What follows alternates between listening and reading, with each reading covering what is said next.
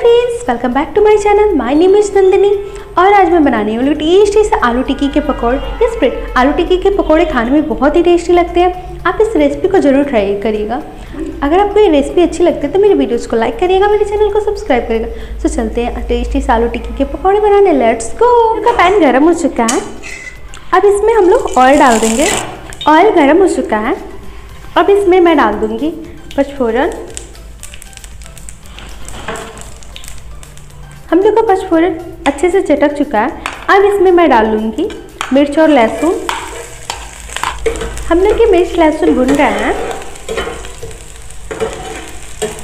अब हम लोग इसमें आलू डाल देंगे।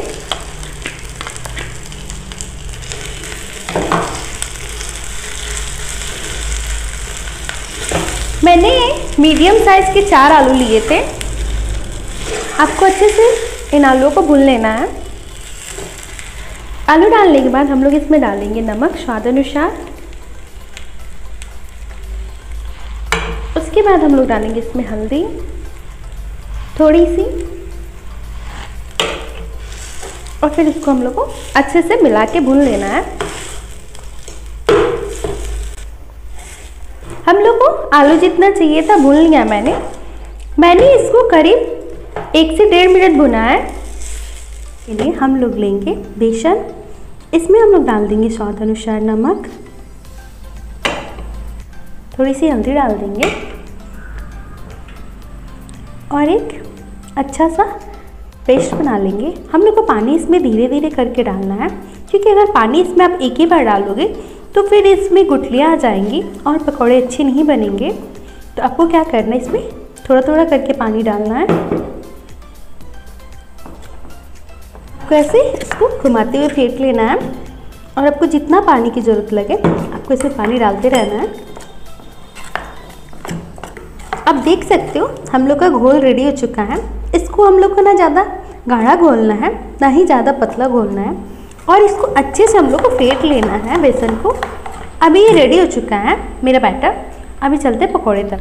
हम लोग ऐसे छोटे से आलू का मिश्रण लेंगे। अब इसको क्या करना है? ऐसे हथेलियों की मदद से ऐसे गोल कर लेंगे, फिर इसको ऐसे प्रेस कर लेंगे और हम लोग की आलू टिक्की बन के रेडी हो जाएगी। ऐसे करके आपको एक एक आलू टिक्की बना के रख लेना है।